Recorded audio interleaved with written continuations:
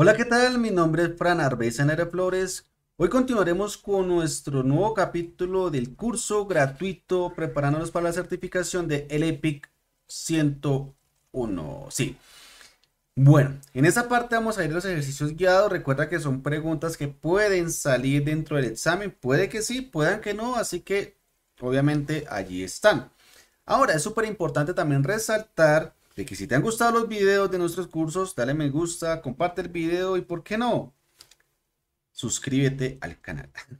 Bueno, en una máquina equipada con firmware, ya leyendo acá la pregunta, con un firmware de BIOS, ¿dónde se encuentra el binario del arranque? Mm, BIOS, MBR, UEFI, GPT.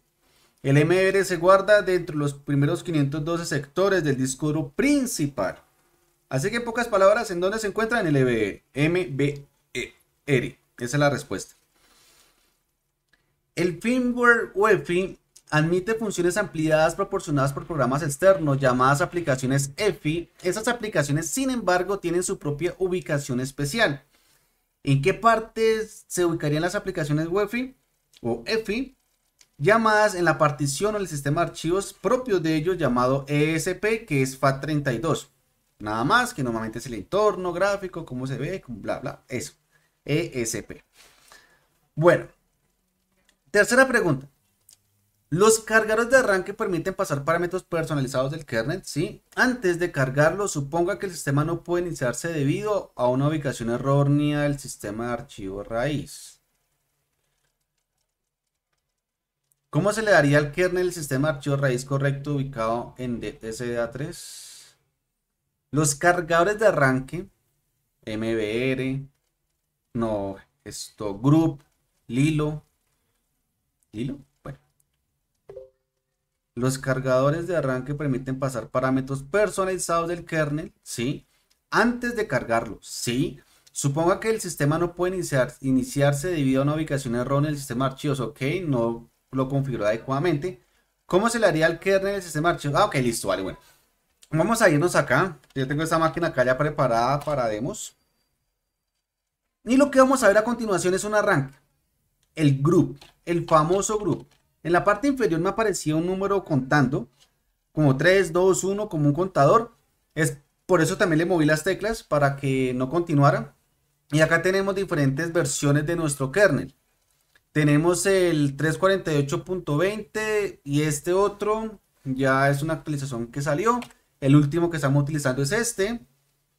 Entonces vamos a darle la E. Mira que en la parte inferior me aparece una letra que se presiona E para editar el ítem seleccionado o C para el command prompt. Vamos a dar la E. Y lo que vamos a hacer ahorita, mira que acá donde dice la línea Linux, en esos CentOS, esos Red, esto es Rocky Linux 8.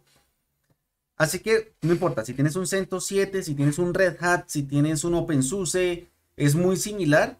Si tienes un Debian cambian algunas cosas, pero la estructura es casi exactamente lo mismo. Lo único que cambia realmente es casi nada. Pero es entendible, ¿vale? Y vamos a buscar esta línea que dice acá. Root, mírala. Root igual a UID, identificador único, el disco duro, ¿vale? Entonces, este root le está indicando en dónde va a arrancar mi kernel. En dónde va a arrancar. Entonces ahí yo le pondría, borraría todo esto. Uy, no sé qué hice. Tengo un problema. Pero primero escape, editar y nuevamente. Mira que leí, leí nada más en la parte de abajo. Esa es la importancia de leer lo que te dice en pantalla a a borrar esto. Esta vez lo voy a borrar con más calma. Esta opción que me dice, montelo en Read Only. Y él me dice, ¿cómo es que dice el taller? ¿El taller? Ah, sí, cámbialo por el SDA3. Uy, pero acá tengo un problema. Mira que le quité el igual. Entonces... El teclado, acá es súper importante lo que te voy a decir. El teclado que debe aparecer acá es inglés. O sea, el que coge el grupo es teclado en inglés. Entonces, por eso me estaba buscando el igual. Listo. ¿Y ahora qué hacemos? Control X. Al darle control X, el sistema va a intentar arrancar a través del SDA3, pero como no lo va a encontrar, se me va a quedar arrancando el sistema. ¿Vale? Ahí se va a quedar pegado realmente. Esperemos a ver si me arroja el error del SDA3. No sé, no alcancé a ver. Pero bueno, no importa. Vamos a, reiniciarlo.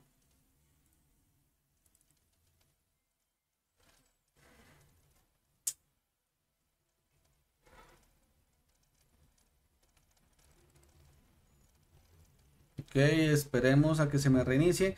Pero esa es la forma de editarlo, en pocas palabras. ¿Vale? Esa es la forma. Acá hay la siguiente pregunta, el proceso de arranque la máquina. Ok, dice que, hey, no existe. Hay un problema, no se encuentra el dispositivo SDA3, lo que me estaba pasando. Em, ¿Qué significa? Pues que en pocas palabras el dispositivo no existe. Ahí me dice, el dispositivo no existe. No está. No existe. Entonces, el, kernel está siendo súper, súper claro con nosotros, no, no hay nada más que darle vueltas al tema. Bueno, mientras tanto, mientras tanto que reinicia, sigamos.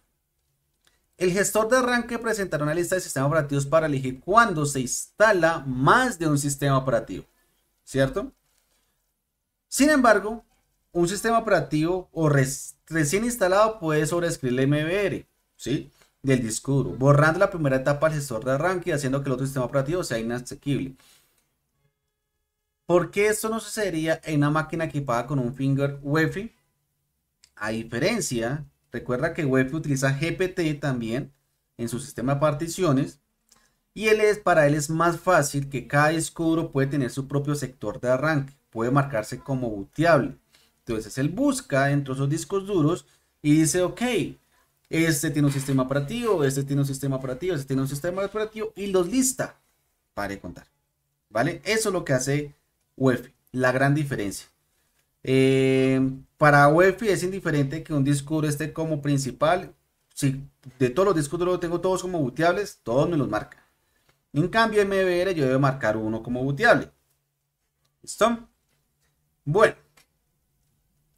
¿Cuál es la consecuencia común de instalar un kernel personalizado, un kernel vanilla que se llama vanilla, quieran decir, que yo lo descargo, lo compilo y lo hago y para montárselo a mi sistema? Un kernel personalizado sin proporcionar una imagen de init RAM file system adecuada y se rompe, no arranca. Dice, y no puedo arrancar, estoy fallando, no arranca el sistema, tenemos que arrancar con un kernel anterior. Bueno, el registro de inicialización tiene cientos de líneas, por lo que la salida del comando de MEX a menudo se canaliza a un método de lectura más fácil. Yo utilizo mucho ese comando con grep, como lo es con el comando les.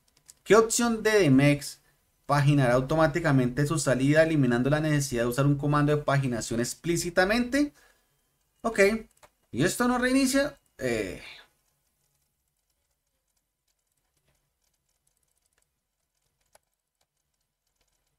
no me quiere reiniciar. Bueno, no importa, no sé por qué no me quiere reiniciar si le estoy mandando los comandos. Bueno, vamos. Vamos a tener acá nuestro propio Linux, ¿no? Entonces, Demex. Esa es la salida del Demex. ¿Yo qué hago normalmente cuando estoy directamente en el servidor? Shift, la tecla Shift oprimida y Repack o ABPack, subir página o bajar página. Y como te das cuenta, el sube o bajo según sea mi gusto. Realmente yo casi no utilizo esto. Eh, porque lo que yo busco es esto. Si es, yo mando la tubería, como te das cuenta, el pipe es una tubería. Y lo mando con el comando grep para filtrar y busco errores o busco warnings. No hay ninguno, no hay ninguno. ¿Vale? Eso es lo que uno normalmente hace. Además, Demex tiene un problema. Que Demex solamente me trae el último arranque. El resto, digamos, el arranque que tuve hace dos días, un ejemplo, se almacena directamente en el syslog, en la carpeta syslog, en el archivo syslog, en el archivo mensajes o message, como le quieras llamar. De esa manera lo guarda. ¿Vale? Entonces es muy probable que si has hecho un reinicio varias veces, él no te va a traer el último reinicio, él no te va a traer el reinicio de hace dos veces. Hay otros comandos que te lo pueden mostrar, pero eso lo vamos a ver más adelante. Acá nos estamos enfocando en lo que dice la guía. ¿Ok? Bueno, entonces, ¿cómo mostramos nosotros de una forma amigable? Entre comillas, ¿no? Amigable porque es que me permita paginar. O sea, la idea es que me permita paginar el DMX con la opción H mayúscula de Human Readable. Para arriba, para abajo. Para arriba, para abajo. Bueno, aunque la tecla estoy haciendo para arriba, acá estoy subiendo y acá estoy bajando. ¿Listo? Entonces, esta es la manera que sería exactamente lo mismo a yo hacer esto. ¿Sí Es exactamente lo mismo. Lo único que acá me mantiene, pues obviamente la estructura de colores, lo bonito, etc. Es un poco más amigable. Pero nuevamente, esto es solamente para el último arranque. Continuamos.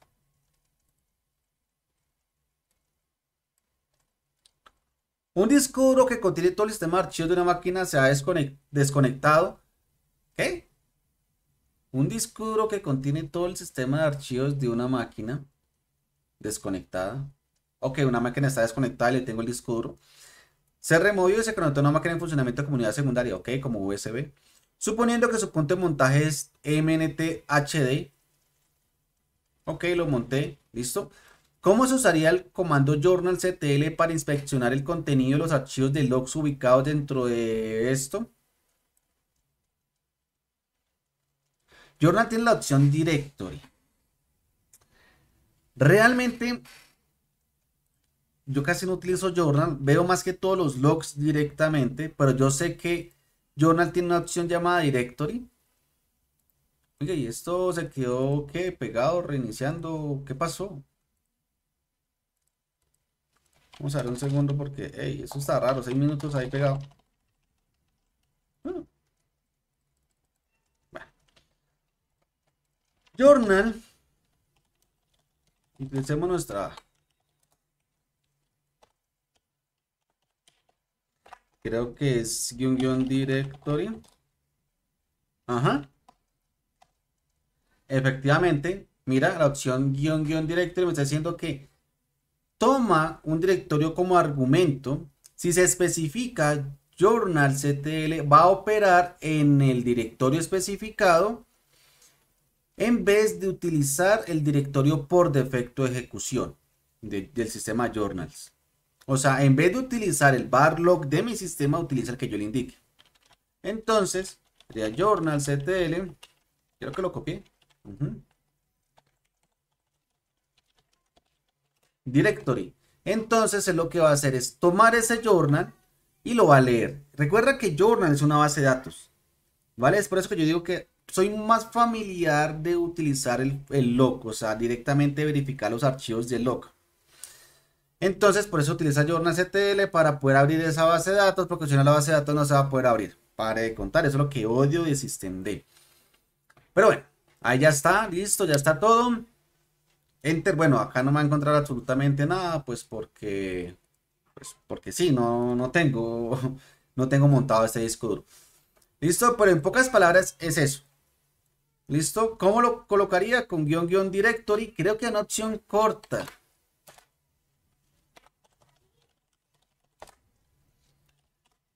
Creo que hay una opción corta, sí, la opción D mayúscula.